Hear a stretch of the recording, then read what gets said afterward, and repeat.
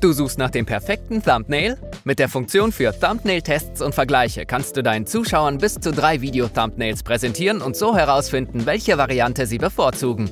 Und so funktioniert's. Berechtigte Creator können die Funktion in YouTube Studio auf dem Computer für neue oder vorhandene Videos ausprobieren. Gehe auf der Seite Videodetails auf Thumbnail und wähle die Option Testen und Vergleichen aus. Hier kannst du bis zu drei Bilder hochladen, um zu sehen, welches deine Zuschauer bevorzugen. Klicke dann auf Fertig. Thumbnail-Tests sind nur für öffentliche Videos im Langformat verfügbar. Der Test beginnt, wenn du dein Video veröffentlicht hast. So funktioniert der Test. YouTube präsentiert die unterschiedlichen Thumbnails gleichmäßig auf deine Zuschauer verteilt. Das Gewinner-Thumbnail ist am Ende das mit dem größten Anteil an Wiedergabezeit. Du kannst jederzeit nachsehen, wie der Test läuft.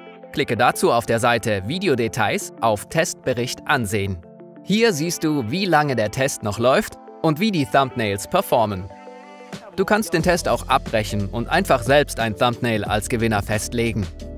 Wenn du den Test laufen lässt, kann es einige Stunden oder auch ein paar Wochen dauern, bis die Ergebnisse feststehen. Die Dauer hängt auch davon ab, wie ähnlich sich deine Thumbnails sind. Je mehr sie sich unterscheiden, desto schneller ist der Test beendet. Ein weiterer Faktor sind die Videoaufrufe. Je mehr Thumbnail-Impressionen dein Video erhält, desto schneller wird der Test abgeschlossen. Anschließend kannst du dir im Testbericht die Ergebnisse ansehen. Bei einem statistisch signifikanten Ergebnis wird der Gewinner gekennzeichnet. YouTube legt den Gewinner automatisch als Video-Thumbnail fest, wenn der Test zu Ende ist. Eventuell wird ein Thumbnail auch als bevorzugt gekennzeichnet. Dann waren die Ergebnisse zwar statistisch nicht signifikant, aber es gab ein Thumbnail, das etwas besser abgeschnitten hat als die anderen. Wenn es keinen eindeutigen Gewinner gibt, wird das erste Thumbnail veröffentlicht. Am Ende entscheidest aber natürlich immer du selbst.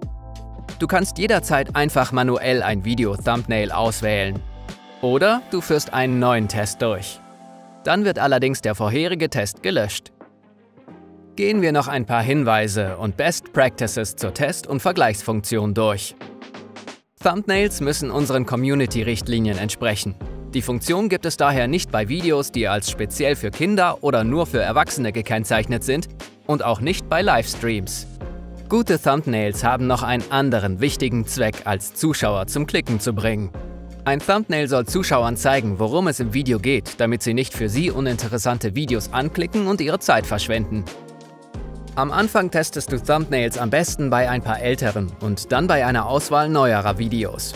Nimm dabei Videos, bei denen du glaubst, dass sie dir nützliche Erkenntnisse für deine Content-Strategie liefern werden. Außerdem solltest du verschiedene Thumbnail-Varianten testen, die sich in ihrem Layout und auch in Elementen wie Hintergrund, Text-Overlays und der Platzierung von Objekten unterscheiden. So kannst du herausfinden, was am besten ankommt. Hier noch ein paar Tipps. Achte auf eine ausgewogene Bildkomposition mit einem guten Blickfang, der die Aufmerksamkeit auf sich zieht. Setze auf hohen Kontrast, damit sich das Motiv im hellen und im dunklen Modus vom Hintergrund abhebt. Ist im Thumbnail ein Gesicht zu sehen, sollte die Emotion stimmen. Der richtige Gesichtsausdruck kann beeinflussen, was Zuschauer empfinden, wenn sie das Thumbnail sehen. Beim Text gilt wie so oft, weniger ist mehr. Zu viel Text kann beim Scrollen schnell überfordern. Und für eine wirkungsvolle Schärfentiefe solltest du auf den Hintergrund achten und mit Leerraum spielen. Also lass dir beim Gestalten und Auswählen perfekter Thumbnails unter die Arme greifen, damit deine Videos häufiger angeklickt werden. Weitere Infos findest du über die Links unten. Danke fürs Zusehen.